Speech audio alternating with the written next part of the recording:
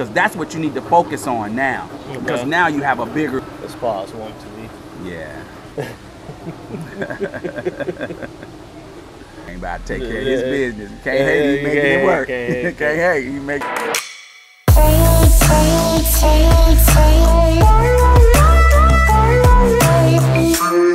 What's going on, guys? It's your boy James D. Anderson at I am JD Anderson. Just hanging out. I made it down here to Orlando. Got a big weekend lined up. You know, doing a lot of great things here. Talking to people about their money, showing them how they can fix their money, and show them how they can just come from any type of background and actually get some things done. So, man, I'm happy.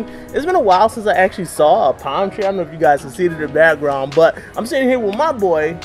He, he can introduce himself. Go ahead and introduce yourself, man. I'm Robert L. Webster, your financial Robin Hood. That's right. At winning financially, we loving it. We loving every minute of it That's down what's here. This That's weather is beautiful. We left single degree digits now for double digits. It's like 75 degrees. This is where it's supposed to be because what we talk about is hot. So we need to be where it's hot. Right. All right, because we're gonna make it hot where you at. Right, right. Now let me let me rapid fire again because we, we gotta get we gotta get moving. Got a lot of things to do, but let's do rapid fire real quick. So man, Orlando, if I got somebody coming down here to go to a financial conference, what's that one thing they need to look out for? What's that one critical financial thing that might be said they need to look out for? Whether it's is it investing, is it paying off your debt? What is that one thing that I know people gonna be at different things, but Right. Every time I come to a conference, it's always about like what that future return could be for me. So, what's something that somebody can look forward to in getting something out of a financial conference? any financial conference you go to, you should be looking to better your financial situation, no matter what it is right now. Mm-hmm. All right, whether you're making fifty thousand dollars a year, whether you're making eighty thousand dollars a year, whether you're making hundred thousand dollars a year, you need to be increasing your cash flow. So if the information you learn help you to increase your cash flow, that's what you're gonna look for. Okay. Something that's gonna help you to increase your monthly return on your cash flow. Okay. Now, with that being said, right, so I got a person that says, all right, monthly cash flow, that's cool, Rob, that's great. I understand that, all right, but I know I'm not where I need to be right now, but I'm looking, you know, I'm, I'm playing a long game, right? What would you say to a person that said, well, I know I'm in a situation right now, I'm gonna work up to it, but I'm really excited about my future? hmm Well, that's good. If you're excited about your future, that means you're headed in an upward mobility position. You're in an upward climb. Okay. That's good. Like you that. want to keep that going like that, Right. And you want to focus on. You want to fo- start focusing on the end game. Right. All right. Once you reach that destination, because you might have a two-year goal, three-year goal. Once you reach that destination, Mm-hmm. then what are you gonna do? Whether that destination was to pay off a car, whether the destination was to buy a home, when you reach that destination, okay, you paid that car off, now you got a thousand dollars extra every month. How are you gonna flip that thousand? How you gonna make that thousand become five thousand? How you gonna make that five thousand become ten thousand? You see, that's the key. So I got a person, right? They like these conferences, right? They they always say, uh, I, I like going to them. I like getting some things out of it. But we know there's a percentage of people that come down to just party, hang out, and Right. BS, right? And not get the knowledge. So new person, never been to anything like this, right? They're gonna see people hanging out, having fun, palm trees, sunshine. They're gonna think it's a vacation. What tip would you give them to actually stay focused?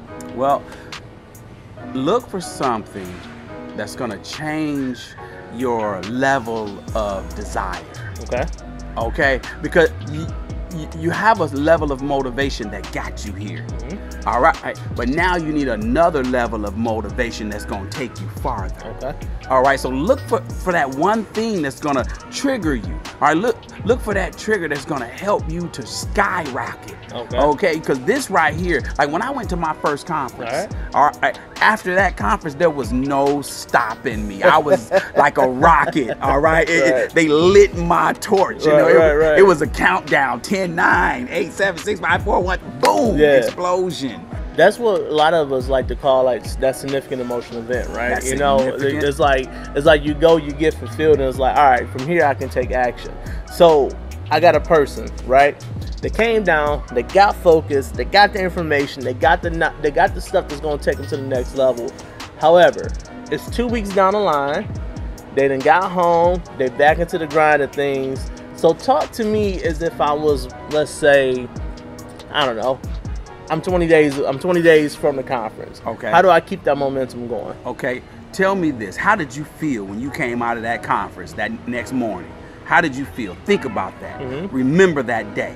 All Okay. right, go ahead and write down how you felt. Okay. Write down what you said you were gonna do. Mm-hmm. All right, write down what what those goals you got at that conference. Right. Write it down because those are the goals you need to be looking at. Because those are your new set of goals. You had a goal, a set of goals before you went there, Mhm. but while you while you were sitting there in that conference, you started learning stuff. You started getting motivated. Right. You started having more desire. You need to write those down because that's what you need to focus on now. Because Okay. now you have a bigger goal and a bigger desire. Big desire. Got it. So you got a person, right? They're they're out here. They're they're they're motivated. They're focused, and they find themselves. What I find sometimes is that people be so excited when they leave a conference, when they leave an event, they try to take that back and teach people. But because they haven't really internalized all the information themselves, they just kind of puke it up and splatter it all over everybody that they know because it's, it's rightfully so, right? They're excited they they're super excited about the information they want to just teach everybody tell everybody like this was the most amazing thing. But because they don't know quite how to articulate it yet they just kind of just throw up on somebody. So i'm that person right? I'm that person that's super excited. I want to tell everybody but i just don't want to like you know I, I just don't know that you know my intensity is gonna just turn everybody off. What would you say to that person? I would suggest get your phone and videotape yourself telling them everything you want them to Okay, hear. I like that. All right. So you're saying like you like pick up their phone and record their themselves. own phone, Okay. record yourself, showing them, telling them everything, and then watch it and write everything you you, you said down Okay. because you want to be able to put that in a particular form where you can give the information properly. All and right. the first time you do that, you're going to be so motivated. You're going to be, you know, like you said, you're going to be throwing it up on people. Right. And you don't want to throw it up on people. You want to give it to them in a particular way that they need it and they can accept it. So get it on paper.